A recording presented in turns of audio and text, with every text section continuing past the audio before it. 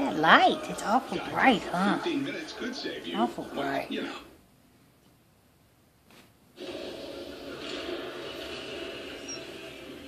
Welcome to the Capital One halftime report. Florida State are looking head to a national championship game. They have to remain unbeaten. Jameis Winston, right now number two in hmm. everyone's eyes for the Heisman Trophy award, but he is struggling on this night. Has the lead. What are at you doing, Christy? 24-17 I'm with two videotaping you. interceptions, Oh. Equaled the number thrown in first half in their first seven games combined. Came in averaging 200 yards per game in the first half.